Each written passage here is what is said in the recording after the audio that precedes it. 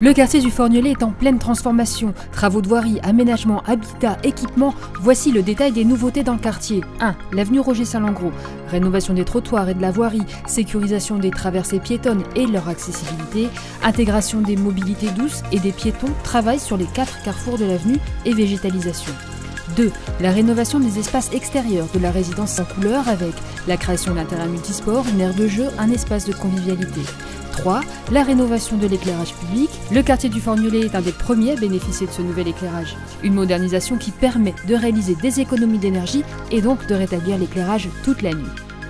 4. Le renouvellement urbain, démolition des tours pour reconstruire de l'habitat à échelle humaine, un projet à 40 millions d'euros. 5. Un nouveau centre social face à la salle Mandela, il accueillera les services et animations d'espace fort, le pôle santé du CCAS, livraison en 2026 et coût 6 millions d'euros. 6. Réalisation d'un city-stade qui se situera à l'emplacement de l'actuel complexe commercial. 7. Arrivée d'un pôle santé rue d'Ajaccio, construction d'une nouvelle pharmacie et arrivée de deux médecins. 8. Le réseau de chauffage urbain permettra aux ménages raccordés de moins subir les hausses des coûts de l'énergie.